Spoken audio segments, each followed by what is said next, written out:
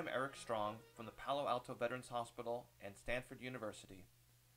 This is the first lecture in this series on mechanical ventilation, and this will serve as a bit of an introduction to the topic and provide a little historical context as well. Here are the learning objectives of this initial lecture.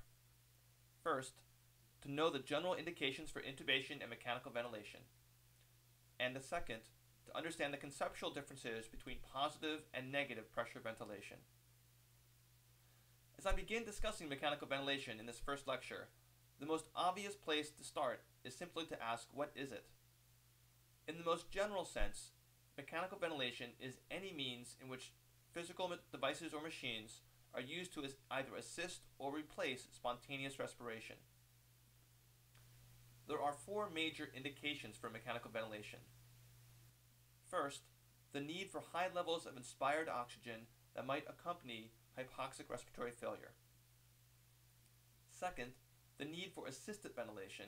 This can be seen with either hypercapnic respiratory failure or more commonly as part of routine protocol for surgical procedures done under general anesthesia.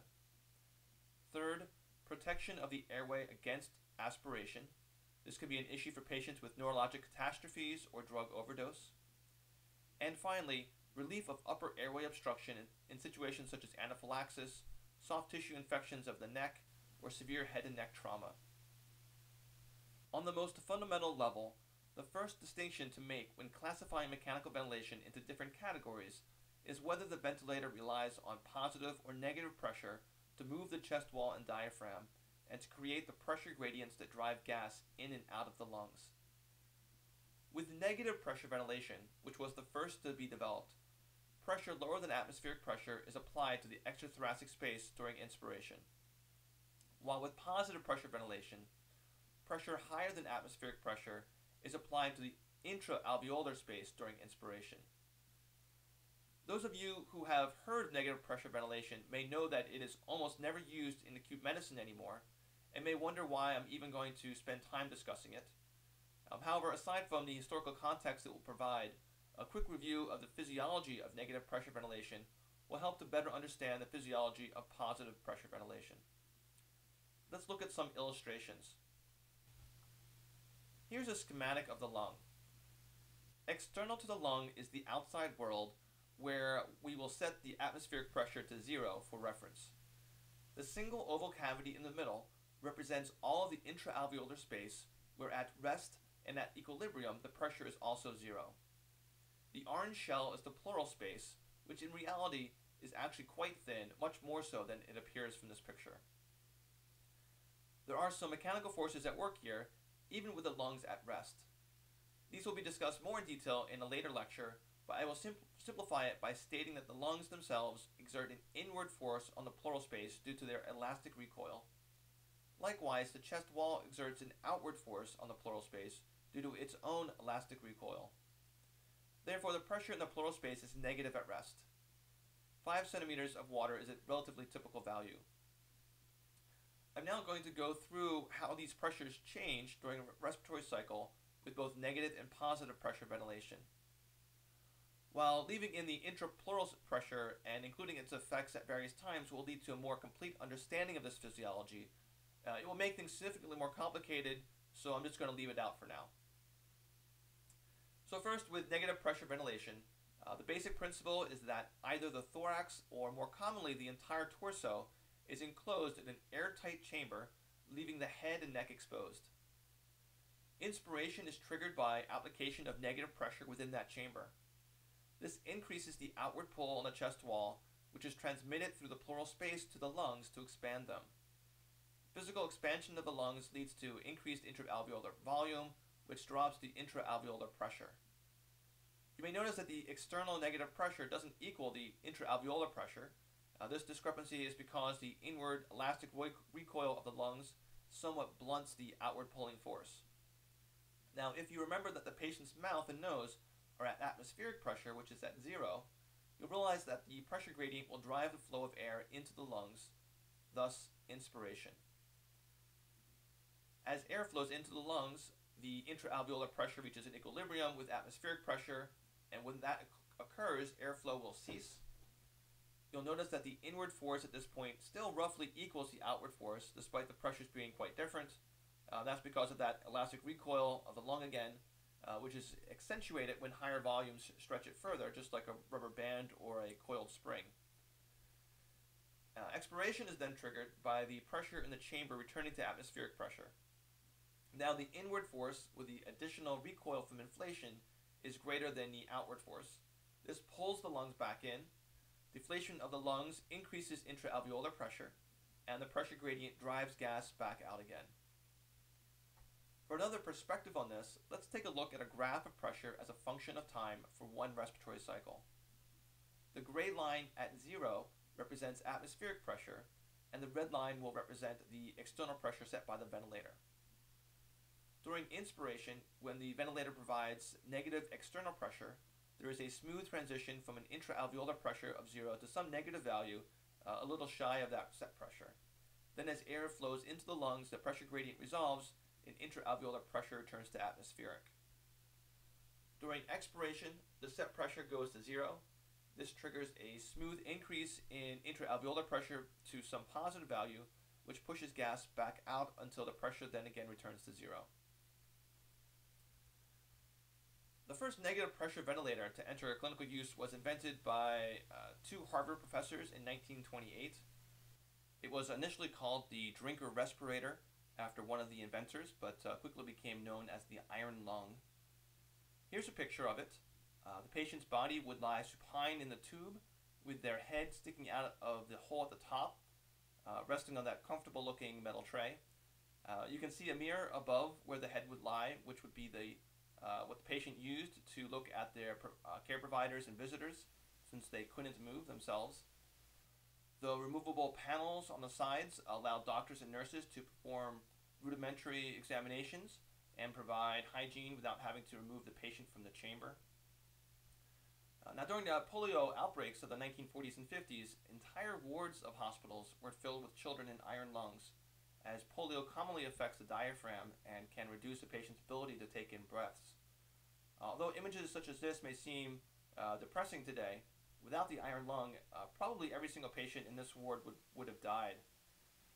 Uh, it may seem to you to look quite uncomfortable uh, and restrictive to being in an iron lung, and you may wonder how long a person could possibly tolerate such an inter- uh, intervention. Here's a picture of um, a woman, uh, her name's Diane Odell, uh, Ms. Odell was three years old when she contracted polio. Uh, unfortunately, unlike most polio patients who recover most, if not all, of the lung function, uh, she did not. Uh, and instead, she lived a remarkable 58 years in this iron lung, uh, much of it spent in a family home in Tennessee. Unfortunately, she passed away in 2008 uh, after the home's emergency generator failed during a power outage. It's kind of a unfortunate end to a very sad and tragic life. While they are quite rare these days for reasons we'll get to, um, iron lungs no longer need to look like a contraption from a Jules Verne novel. Uh, here is a picture of a modern negative pressure ventilator known as a port-a-lung. Uh, and no, I'm not kidding about that uh, amusing name. Let's now look at positive pressure ventilation. Uh, the first serious research on positive pressure ventilation didn't occur in the hospital, but rather in a research lab where the military was investigating better ways to deliver oxygen to high altitude pilots during the 1940s. Positive pressure ventilators didn't enter the medical setting until the 1960s and were still quite rare until the 1970s, which I still find amazing considering how ubiquitous these life saving uh, devices are just a generation later. With positive pressure ventilation, instead of the body being placed in the chamber, a small tube called an endotracheal tube is introduced into the trachea, usually via the mouth. An airtight seal is made between the endotracheal tube and the trachea by means of a soft-sided cuff that is inflated once the tube is in place. With positive pressure ventilation, positive pressure is applied to the air within the endotracheal tube. Uh, this pressure uh, gradient drives the flow of air into the lungs, which then expand once the intraalveolar pressure is equalized with the endotracheal tube pressure, airflow stops. You'll notice that here at end inspiration, although there is positive pressure in the intraalveolar space and atmospheric pressure in the extrathoracic space, uh, the forces on the respiratory apparatus are balanced That's because the additional outward force from the positive pressure is balanced by the inward elastic recoil once again. Uh, expiration is triggered by removal of the positive pressure being applied to the tube. Now the pressure gradient drives gas out of the lungs. As equilibrium is reached and the intraalveolar pressure reaches zero, the net force on the lung now favors elastic recoil, leading to lung deflation. Let's take a look at a graph of intraalveolar pressure as a function of time. Once again, the dashed gray line will be atmospheric pressure, um, set at zero for reference. The dashed red line will be the extrinsic pressure applied via the endotracheal tube. You can see that application of a constant pressure, as a constant positive pressure, uh, that is, at the beginning of inspiration results in the intraalveolar pressure reaching equilibrium with it towards the end of inspiration. With release of that extrinsic pressure, the intraalveolar pressure quickly drops back down to zero. Before we move on, I want to point out that what I've shown you with these schematics and graphs is a substantial simplification of the actual process. Uh, respiration doesn't happen in a sequence of well delineated steps like I went through, uh, but rather as a continuous smooth process. Uh, volumes and pressures change simultaneously, not in a series like these animations uh, might make it appear. Let's take a look at some positive pressure ventilators. First, here is the endotracheal tube, frequently abbreviated ET tube. Uh, the balloon on the right side is the cuff, which creates the airtight seal within the trachea. The cuff can be inflated or deflated through the uh, blue port. Here's a woman with an ET tube connected to a conventional positive pressure ventilator.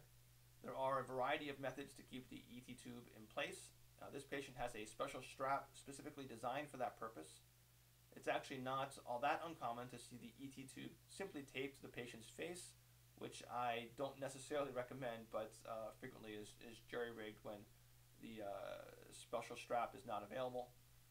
Uh, the ET tube is attached to a Y connector, um, off of which run two larger caliber tubes, one white, one clear in this case, um, one of the tubes is the inspiratory limb of the ventilator circuit through which oxygen-rich gas travels to the patient's lungs, and the other tube is the expiratory limb through which carbon dioxide-rich gas travels away from the patient's lungs. Uh, in the back and partly cut off is the actual ventilator itself. Modern ventilators are quite sophisticated. Here are two popular models that you will likely see around the ICU now that we've reviewed a little of the physiologic differences between negative and positive pressure ventilation, what are some of the practical differences? Let's take a look at the major advantages of each. Negative pressure ventilation is non-invasive, does not require sedation, allows the patient to still eat and talk relatively normally, and it is probably associated with a lower risk of aspiration positive pressure ventilation is able to provide higher levels of inspired oxygen. It is more effective for providing large driving pressure gradients for patients with poor lung compliance. There is an increased ability to individualize treatment as there are many more uh, options on positive pressure ventilators than negative pressure ventilators. And finally, it can provide full vent support for unconscious patients. The bottom line is that negative pressure ventilators were a near perfect solution to dealing with large numbers of children with polio and subsequent diaphragmatic paralysis. The patients are cognitively intact and with normal lung parenchyma. Unfortunately, they really only work for patients with neuromuscular disease and its associated hypoventilation. Uh, that specific type of respiratory failure makes up a tiny, tiny percentage of all patients requiring mechanical ventilation. Therefore, the port lung aside, uh, negative pressure ventilators are rarely used in practice today and have been relegated to museum exhibits. Hope you have found this introduction to mechanical ventilators to be both interesting and useful. Uh, please continue now to lesson 2 on normal lung mechanics.